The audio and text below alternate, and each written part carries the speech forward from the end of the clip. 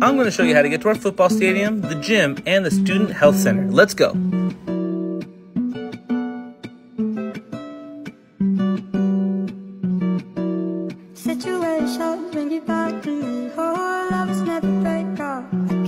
This is our gym building. It has our basketball courts and houses all of our athletics classes.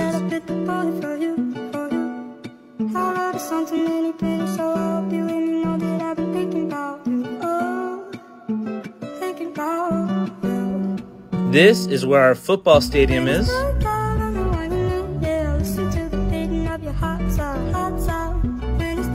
This is our Student Health Services building. Thank you so, so much for joining me today, and we'll see you soon. Adios.